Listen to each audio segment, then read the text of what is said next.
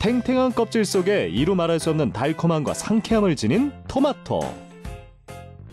최근 들어 이색적인 토마토가 등장했는데요. 취향대로 입맛대로 골라 먹을 수 있는 다양한 색깔과 크기의 토마토들. 이 중에서 덜 익은 것처럼 보이는 그린 토마토는 특별한 효능으로 주목받았습니다. 미국 아이오와 대학 연구팀 결과 그린 토마토의 토마티딘 성분이 근육을 튼튼하게 하고 부상이나 노화로 인한 근육 소모를 줄여준다는 사실이 밝혀졌는데요. 근육 강화 효과가 있는 성분인 토마티딘. 그린 토마토에는 토마티딘이 풍부해 꾸준히 섭취하면 근육 위축증 치료에 도움을 줄 수 있다고 합니다. 토마토의 효능은 하버드 의과대학 교수부터 세계 보건기구까지 공신력 있는 사람과 기관에서 이미 인정받고 있는데요.